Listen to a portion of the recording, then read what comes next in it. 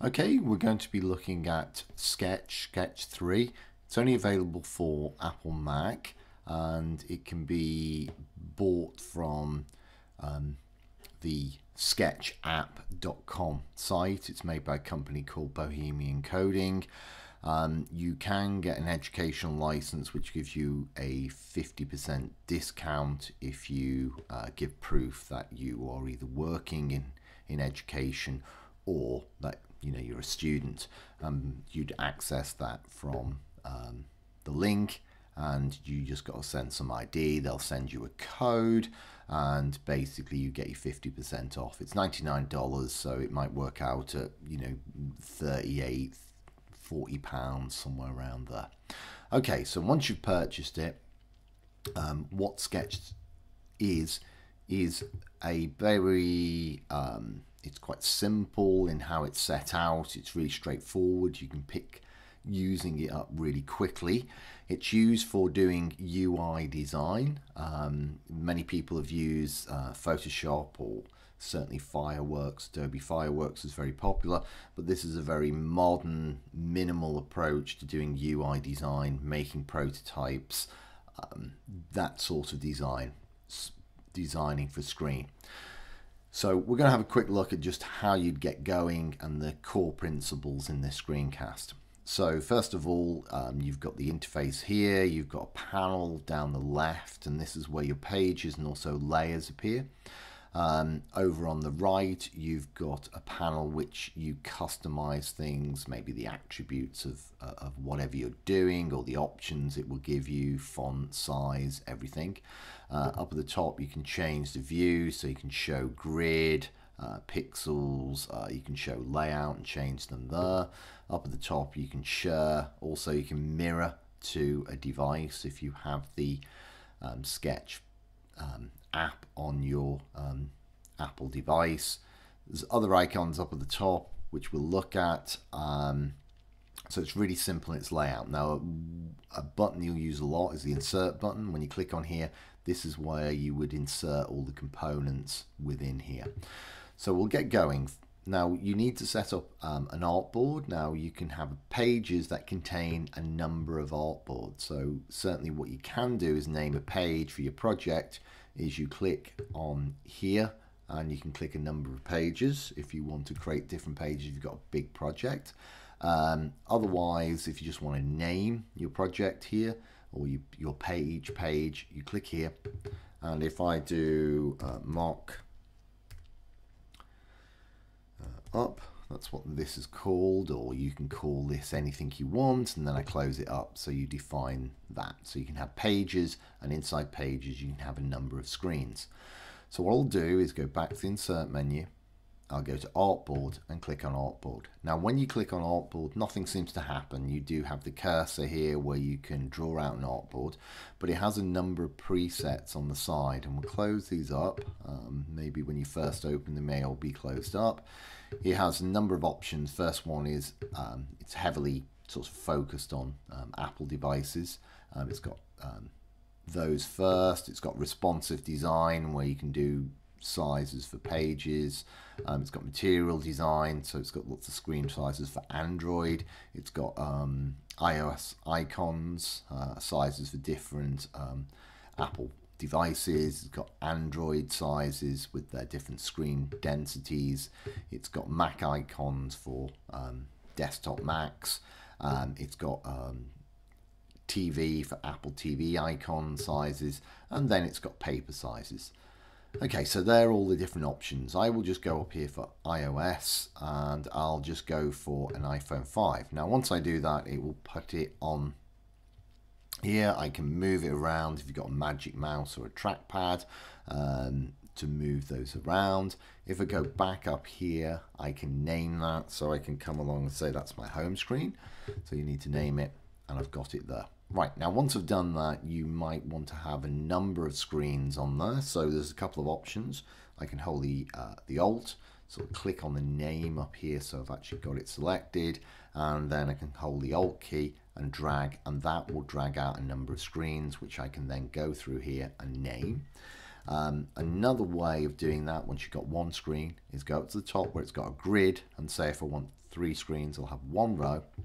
I'll have three columns and this is giving you a bit of a margin. Maybe I'll come up here and say I'll have 30 and then make grid and that will give me the other screens. Then I go along and name them.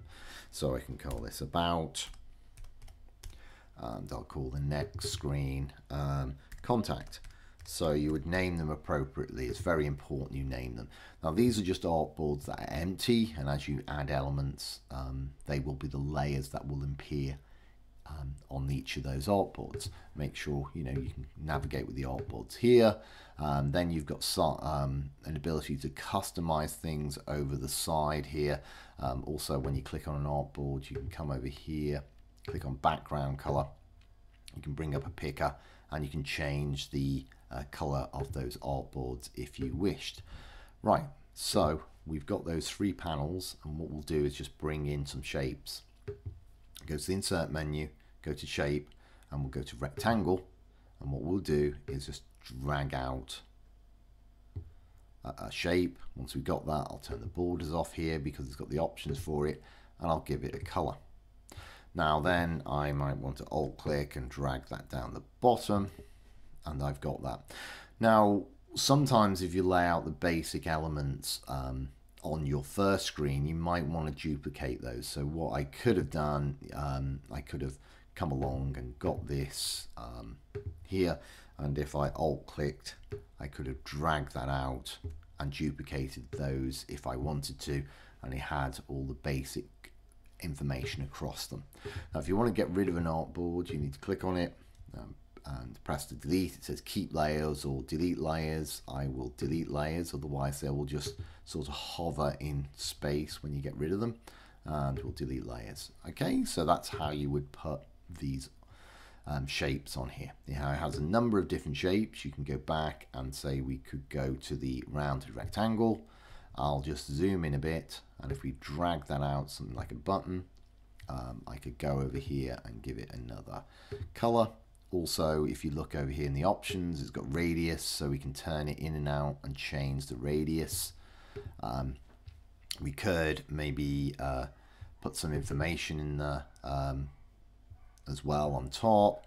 Um, so what I will do now is go and get some text. So I'll come away from here. Ideally, when you do click on here, there's no sort of tool for um, a move tool or select tool. So usually clicking away and you can click back and then you can move it around. You'll see you've got these guides and you move them up and down um, and you'll have shapes and it'll tell you what distance is away from other objects on there. Now what you can do is move these shapes around. So I could move them um, up and down. Oops. So I can move, say, if I have this here, I can then uh, change the order of these shapes like that. So I can have this on there and they can get changed. So I have them on top of each other. So that's how you change the order just like you would do in Photoshop. Um, the other thing you can do is bring in an image. So you can go image. You can go and uh, select an image.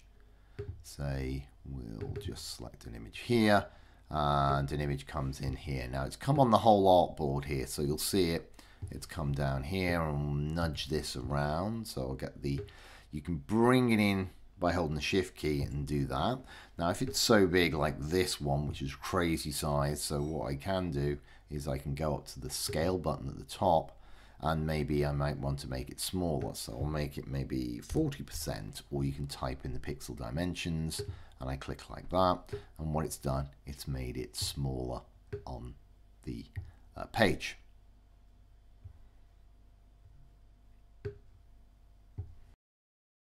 Okay, so here's my image, and then I could get the uh, hold shift key and scale it up uh, a bit like that. Now, what I want, you know, if you want to um, crop an image in any way, what you need to do is just double click on it, and if you see over the options, it's got the selection, so you would make a selection where you want to crop it and then hit the crop button and I can just click away anywhere and then click back on it and it's cropped that image.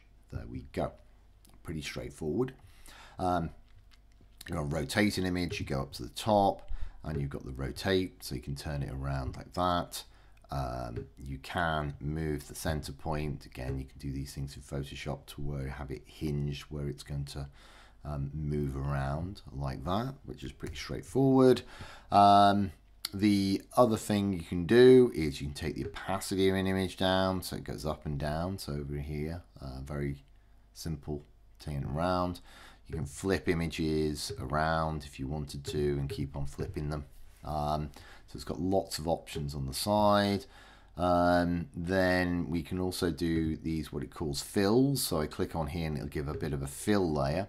Um, now what I can do is take the opacity of that fill down and maybe I could come along and make it say orangey and then take the fill down and do things like that. So you can have tints and images on there with different colors and that's just like adding a fill. You turn them on and turn them off if you wish. Um, it has for um, you can add borders if you want um, on there or as a red one. And then you can take up the border size like that. Um, you've got shadows, you've got Gaussian blurs, you can have color adjustment, so you can change the colors here, take the hue and saturation, you control the brightness. So it has all those different functions where you can alter images, change them around, make them more transparent. So that is basically just a, a, you know a few of the functions that you can do. And the last one we'll just look at we'll give it a go and just do some text. So if we come along here type in when you click it'll say type something. And I'll just say hello and once you've got that you can click away from it. You've got this um, information on here. You can move it around. You've got your font sizes over the side here. Oh god we don't want to go too big.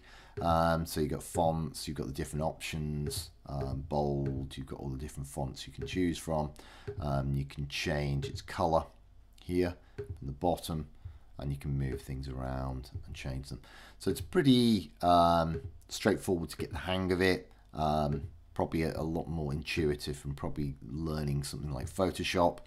Um, also, you can come along and put some show grid, which will have a grid on there. To change the grid, you can go into grid settings and change how much it is, eh, the block sizes. Um, also, you can use layout, and layout is the guides for um, laying up sort of like responsive design. So it gives you sort of columns to do that. So I can go layout settings, and this says um, certainly how many columns. If you say if we want four now, we click OK to that. We'll go back and we got four columns. Obviously, we got to change the sizes and the gutter. If I go back and I turn that off.